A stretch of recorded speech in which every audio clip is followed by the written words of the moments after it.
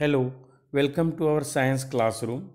Today we are going to learn lesson number 7 lenses standard 10th video number four okay या व्हिडिओमध्ये आपण मानवी डोळा आणि मानवी डोळ्याची रचना याबद्दल आपण अभ्यास करणार आहोत. ओके आपल्याला माहिती आहे मानवी डोळा त्याची रचना कशा पद्धतीची आहे? हे आपण या ठिकाणी समजावून घेणार आहोत. मित्रांनो दिवाळीच्या सुट्या सुरू असल्या तरी आपण आपल्या डोळ्याची काळजी कशी घ्यायची? प्रदूषण मुक्त दिवाळी साजरी करत असताना डोळ्याची रचना आपण या ठिकाणी अभ्यासूया.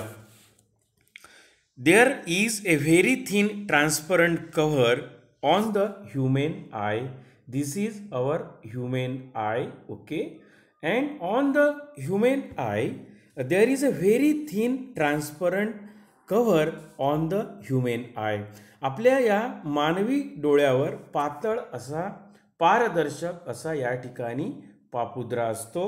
ओके आणि याला आपण कॉर्निया असं म्हटल्या जाते. This transparent cover or membrane on the human eye is called cornea okay cornea म्हणजेच त्याला पारपटल असं म्हटल्या जाते. आपण बघू शकतो की आपल्या डोळ्यावर असणारा पारपटल नावाचं जो पातळ असा पापुद्रा असतो त्याला कॉर्निया असं म्हटल्या जाते ओके? आणि हा कॉर्निया जो असतो हा डोळ्याच्या वरच्या भागावर असतो आणि हा पारदर्शक असतो. Very thin transparent cover or membrane on the human eye is called cornea okay? Cornea म्हणजे पारपटल. आपण मानवी डोळा या बद्दल आपण शिकत आहोत. आणि पारपटल म्हणजे काय? कॉर्निया म्हणजे काय? हे आपण पाहिलं. जे पारदर्शक असं पातळ कव्हर असतो पातळ थर असतो. Light enter light enter the eyes through it आणि प्रकाश जो आहे हा या कॉर्नियामधून या आपल्या डोळ्यामध्ये प्रवेश करत असतो. okay light enter the eye through the cornea maximum amount of incident light maximum amount of incident light is refracted inside the eye at the outer surface of cornea जास्तीत जास्त प्रकाश जो असतो अ, तो त्याचं रिफ्रॅक्शन होते आहे अपवर्तन होते आहे अन आउटर सरफेसमधून बाह्य पृष्ठभागामधून कॉर्नियाच्या ओके म्हणून आपण या ठिकाणी कॉर्निया म्हणजे पारपटलमधून प्रकाश आपल्या डोळ्यात प्रवेश करत असतो हे आपण या ठिकाणी समजून घ्यायचं आहे. There is a dark fleshy screen behind the cornea या कॉर्नियाच्या पाठीमागे एक अ, फ्लेसी म्हणजे मासल भाग दिसतोय आपल्याला. याला आयरीज असं म्हटल्या जाते. हा जो पार्ट आहे याला आयरीज म्हणतात ओके? हा आयरीज आहे ओके? कॉर्निया हा सर्वात वरचा पार्ट आहे. त्यानंतर कॉर्नियाच्या पाठीमागे असणारा जो पार्ट आहे याला आयरीज असं म्हटलं जाते. हा पार्ट आहे आयरीज. ओके? हा आयरीज हा पार्ट आहे ज्याला बुबुळ म्हणतो आपण ओके? या ठिकाणी पुन्हा तुम्ही बघू शकता. बुबुळ कसं दिसते आहे आपल्याला आपण पाहू शकतो. फ्लेसी असतो मासल भाग असतो हा आपल्या डोळ्याचा. आणि याला आयरीज असं म्हटलं जाते.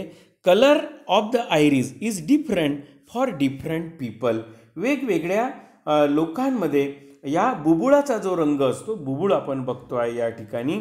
बुबुळाचा रंग वेगवेगळा असतो. ओके? आपण बघतो आहे. या ठिकाणी पण आपण बघू शकतो. ह्या व्यक्तीच्या डोळ्यामध्ये असणारा बुबुळाचा जो रंग आहे आपण बघू शकतो. कशा पद्धतीचं बुबुळ आयरीज जे आहे आपण पाहतो आहे. पहा आयलीड पापणी आपल्याला दिसते आहे. स्क्लेरिया त्यानंतर आयरिस कॉर्निया आणि प्युपिल आपण बघू शकतो की कशा पद्धतीनं हा जो आयरीज आहे बुबुळ आहे हे डिफरंट पीपल वेगवेगळ्या लोकांमध्ये त्याचा रंग जो असतो तो वेगवेगळा असतो. There is a small hole there is a small hole there is a small hole त्यामध्ये पुन्हा एक आपल्याला छोटं छिद्र दिसते आहे. There is a small hole of changing diameter at the centre of iris which is called the pupil त्याला pupil असा शब्द आहे. या ठिकाणी एक होल दिसते आपल्याला या आयरीजमध्ये ओके बुबुळामध्ये एक छिद्र दिसते आहे. त्याला त्याला प्युपिल म्हटल्या जाते. बाहुली म्हटल्या जाते. ओके आपण बाहुली पाहतो आहे. या डोळ्यामध्ये सुद्धा तुम्ही बाहुली पाहू शकता तुम्ही. या ठिकाणी एक छिद्र असते. आणि हे छिद्र म्हणजेच बाहुली असते. हे बाहुली असते. बुबुळामध्ये या ठिकाणी दिसते आपल्याला. प्युपिल म्हणजे बाहुली. Okay there is a small hole of changing diameter आणि याचा जो डायमीटर असतो आकार जो असतो तो बदलत असतो at the centre of the iris बुबुळाच्या सेंटरमध्ये which is called the pupil आणि प्युपिलचं काय कार्य आहे ते आपण या ठिकाणी अभ्यासू. The pupil control the amount of light entering the eyes म्हणजे डोळ्यामध्ये uh, किती प्रकाश आपल्या आपल्याला आवश्यक आहे त्यावर तो नियंत्रण ठेवतो आहे pupil control the amount of light entering the eyes म्हणजे आपल्या डोळ्यामध्ये किती प्रकाशाची आपल्याला गरज असते किती प्रव प्रकाश आपण समायोजित करू शकतो त्यावर नियंत्रण करण्याचं ठेवण्याचं काम ही प्युपिल म्हणजेच बाहुली ज्याला म्हणतो आपण डोळ्यातली ती बाहुली करत असते. आणि ही बाहुली आयरीजमध्ये असते म्हणजे बुबुळामध्ये एक एक छोटं छिद्र असते. If the light falling on the eye is too bright pupil contract while the light is dim it widens जर पडणारा प्रकाश आपल्या या बाहुलीमध्ये पडणारा प्रकाश जर जास्त असेल बघा या ठिकाणी ही आयरीज आहे आयरीज आहे आपण पाहिलेलं आहे. आणि हे प्युपिल आहे. ह्या या ठिकाणी असणारं प्युपिल आहे. ओके मग जास्त जर प्रकाश असेल तर काय होईल? इट कॉन्ट्रॅक्ट होईल. आकुंचन पावणार आहे. आणि जर डीम असेल प्रकाश कमी असेल तर तो वायडन होणार आहे. Okay on the surface of the iris there is a bulge of transparent layers आणि या आयरीजमध्येच ओके हे जे आयरीज आहे बुबुळ आहे यामध्ये पुन्हा on the surface of the iris there is a bulge of transparent layers there is a double convex transparent crystalline lens just behind the lens okay या ठिकाणी आपण बघतो आहे की लेन्स पण आहे. या ठिकाणी बघू शकतो आपण. क्रिस्टलाइन लेन्स आपल्याला दिसते आहे. क्रिस्टलाइन लेन्स आहे. तुम्ही बघू शकता या ठिकाणी. हा क्रिस्टलाइन लेन्स आहे क्रिस्टलाईन लेन्स आहे. ओके? देअर इज या ठिकाणी पाहतो आपण की on the surface of the iris म्हणजे आयरीज जे आहे बुबुळाच्या सरफेसवर पृष्ठभागावर एक बल्ज आहे फुगलेला हा जो पार्ट दिसतो आहे इट इज अ काय म्हटलं आहे आपण त्याला? बल्ज दिसतोय फुगलेला दिसतो आणि हा पण ट्रान्सपरंट आहे पारदर्शक आहे. याला आपण म्हणतो आहे crystalline lens there is a double convex transparent crystalline lens just behind the pupil आणि बाहुलीच्या मागे असतो हा. द लेन्स हा जो लेन्स आहे crystalline lens provide small adjustment of the focal length to the focus image मग इमेज दाखवत असताना एखादी प्रतिमा आपल्या डोळ्यात जेव्हा आपण समायोजित करतो आहे बघतो आहे तर त्याचं ॲडजस्टमेंट करण्यासाठी हा क्रिस्टलाइन लेन्स जो असतो भिंग जो असतो आपल्या डोळ्यामध्ये असणारा तो त्याची जे फोकल लेंथ आहे त्यामध्ये असणारी जी नाभीय अंतर जे असते त्या त्या वस्तूचं ते आपल्याला दिसून येते आहे. There is a double convex transparent crystalline lens there is a bulge of transparent layer there is a okay just behind the pupil the lens provide small adjustment of the focal length to the focus of the image this lens create real and inverted image of an object on the screen inside the आहे. म्हणजे हा जो lens आहे या डोळ्यामुळंच आपल्याला प्रतिमा सरळ दिसून येते आहे. सच जी खरी प्रतिमा असते ती आपल्याला दिसून येते. आणि ही जी स्क्रीन असते this screen is made of light sensitive cells ह्या डोळ्यामधले हे जे स्क्रीन आहे याची हा जो पडदा असतो हा लाइट सेन्सिटिव्ह सेलपासून बनलेला असतो. त्याला आपण रेटिना म्हणतो आहे. ओके रेटिना आपण या ठिकाणी बघू शकतो आहे. Retina okay? Look at here retina. हा जो रेटिना आपल्याला दिसतो आहे हा पडदा आहे आपल्या डोळ्यातला. हा जो पडदा आहे हा लाइट सेन्सिटिव्ह सेल्स आहे.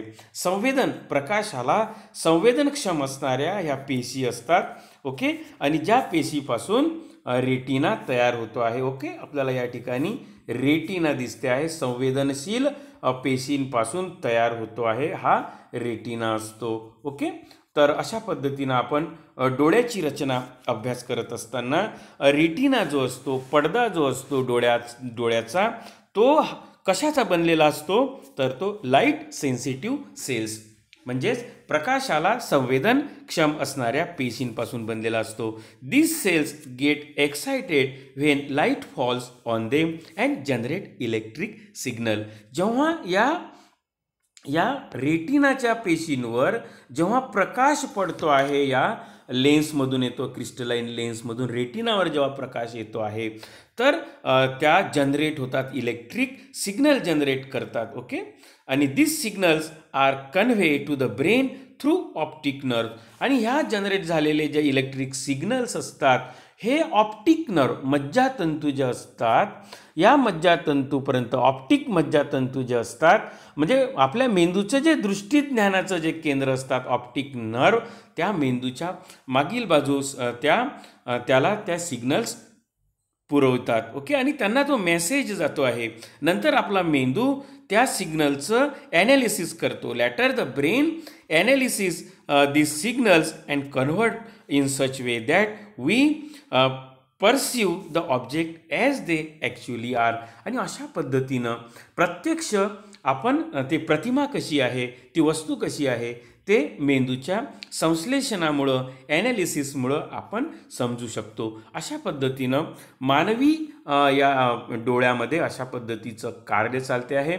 आपण मित्रांनो या ठिकाणी या मानवी डोळ्याची रचना जी आहे ती आपण या ठिकाणी पाहिलेली आहे. या ठिकाणी आपल्याला सिलियरी मसल्ससुद्धा दिसतात okay ciliary c ciliary muscles आहे. Iris pupil lens cornea okay sclerotic coat आहे. कोरॉइड्स आहे. ऑप्टिक नर्व्स आपण या ठिकाणी आत्ताच पाहिलेला आहे. ऑप्टिक डिस्क आपल्याला या ठिकाणी दिसते आहे आणि आपल्या डोळ्याचे हे मसल्स आहे ओके हा प्रत्यक्ष व्यक्तीचा डोळा आहे. डिफरंट कलर्स असतात ते पण आपण पाहिलेलं आहे. आणि या ठिकाणी मानवी डोळ्याची रचना आपण या ठिकाणी पाहतो आहे. While seeing object at large infinite distances the lens of the eyes become flat and its focal length increases म्हणजे जेव्हा आपण या ठिकाणी बघू शकतो आपण change in the shape of lens आपण या हा जो लेन्स पाहिलेला होता क्रिस्टलाईन लेन्स मग याची फोकल लेंथ जी आहे नाभीय अंतर कसं बदलते ते आपण या ठिकाणी बघू. The change in the shape of lens while seeing distance object and nearby object दूरची वस्तू पाहत असताना लेन्स हा फ्लॅट होतो आहे ओके? म्हणजे व्हाईल सीईंग डिस्टन्स ऑब्जेक्ट आपण दूरवरचं जेव्हा वस्तू बघतो आहे त्यावेळेस लेन्स फ्लॅट होतो आहे. आणि ज्यावेळेस जवळची वस्तू आपण पाहतो आहे त्यावेळेस लेन्स हा राऊंडेड होतो आहे. तर अशा पद्धतीनं आपल्या लेन्सचा जो शेप असतो आकार असतो तो बदलत असतो. While seeing object at large infinite distances the lens of eye become flat and its focal length increases आणि त्याची फोकल लेंथ जी असते नाभी अंतर ते वाढत असते. आणि जर जवळची वस्तू जेव्हा आपण पाहतो त्यावेळेस काय होते? आहे लेन्स बिकम मोर राऊंडेड आणि त्याची फोकल लेंथ जी आहे ती कमी होते. This way we can see object nearly irrespective of their distances हे पण आपण या ठिकाणी अभ्यासलेलं आहे. तर minimum distance of an object from a normal eye is at which it it is clearly visible without trace on the eye म्हणजे आपल्या डोळ्यावर कोणताही ताण न पडता आपण एखादी वस्तू पाहतो आहे त्याला मिनिमम डिस्टन्स ऑफ ऑब्जेक्ट असं म्हटल्या जाते okay? Minimum distance of distinct vision the position यालाच minimum distance of distinct vision म्हटल्या जाते. The position of the object at this distance is called near point of the eye यालाच near point of eye म्हटल्या जाते. Near point of eye म्हणजेच minimum distance distance of distinct vision आणि हे जे distance असते आपल्या नॉर्मल ह्युमन आय जो आहे सामान्य मानवाचा जो डोळा असतो आणि याचा जो नियर पॉईंट असते हा ट्वेंटी फाईव्ह सेंटीमीटर आहे. मानवाचा डोळे मानवी डोळ्याचा नियर पॉईंट जो असतो हा पंचवीस सेंटीमीटर आहे. Okay the farthest distance of an object of human eye at which it is clearly visible without trace on the eye is called farthest मग दूरचं डिस्टन्स जे असते हे इन्फिनिटी आहे. किती दूरचं अंतर आपण बघू शकतो बिना ताण न देता. तर मिनिमम नियर डिस्टन्स जे असते नॉर्मल ह्युमन आयचं मिनिमम डिस्टन्स काय आहे? ट्वेंटी फाईव्ह सेंटीमीटर आहे. ओके त्यानंतर आपल्याला हे माहिती असलं पाहिजे. The eyeball is approximately spherical हा जो आपला आय बॉल आहे आपण या ठिकाणी पाहतो. Look at here our eyeball eyeball is approximately spherical आपल्याला राऊंडेड दिसतो आहे स्पेरिकल दिसतो आहे. आणि याचं जे डायामीटर आहे याचा जे व्यास असतो या आयबॉलचा हा टू पॉईंट फोर सेंटीमीटर इतका त्याचा व्यास असतो. The working of the lens in human eye is extremely important the lens can change its focal length to adjust and see the object at different distances okay हे आपण uh, या ठिकाणी पाहिलेलं आहे. मित्रांनो हा व्हिडिओ आपल्याला आवडला असल्यास आपण नक्कीच uh, दुसऱ्यांना शेअर करू शकता. दिवाळीच्या सर्वांना खूप खूप शुभेच्छा.